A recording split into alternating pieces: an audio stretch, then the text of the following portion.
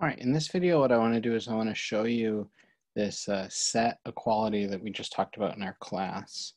Um, and so what I want to do is I want to prove two things. We're going to prove first that the inverse image of the union is a subset of the union of the inverse images. Okay, so we'll uh, first, um, I have these words backwards.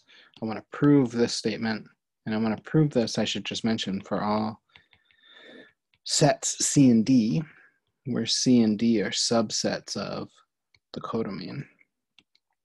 Okay, so C and D are subsets of the codomain B. So uh, first, we'll prove um, that the left side is a subset of the right. And then later, we'll prove that the right side is a subset of the left. Okay, and then later, we'll show that the inverse image of C union the inverse image of D is a subset of the inverse image of C union D. Okay, so first um, let's let T be in this set that we're starting with, pre-image, uh, or rather the inverse image of C union D. Then that means that f of T is in C union D. So either uh, f of T is in C or f of T is in D. And if f of t is in C, then that means that t is in the inverse image of C, and we're done. Because um, that implies that t is in the inverse image of C union whatever other set we want, in this case the inverse image of D.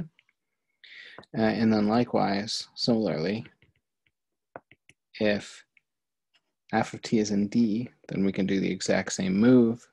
Uh, then t is in the inverse image of d.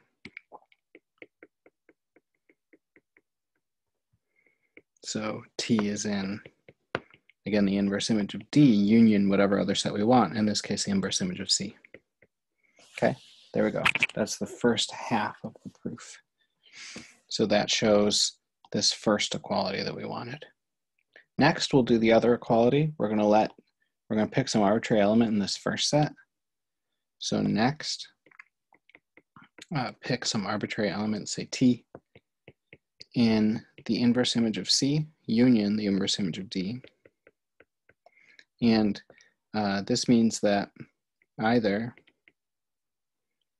t is in the inverse image of C, or t is in the inverse image of D, or of course both, but this covers all of our bases. And if t is in the inverse image of c, so if t is in the inverse image of c, then that means that f of t is in c, and um, therefore f of t is in c union whatever other set we want. So t is in the inverse image of c union d exact same argument gets you the other part. Let me just write it. If, oops, if t is in the inverse image of d, then f of t is in d. So f of t is in d union c.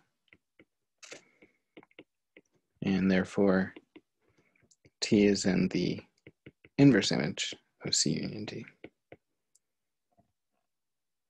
Is that what I wanted? That does not feel like what I wanted. Is that what I wanted? Yeah, that is. So T is in the inverse image of C union D, and we're done. That's it.